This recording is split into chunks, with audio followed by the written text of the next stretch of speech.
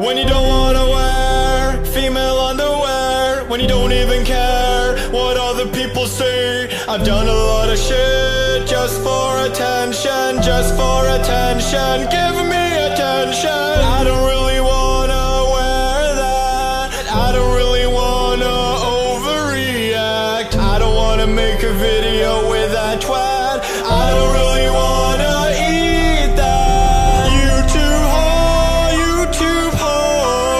suck dick for views YouTube whore, YouTube whore I suck dick for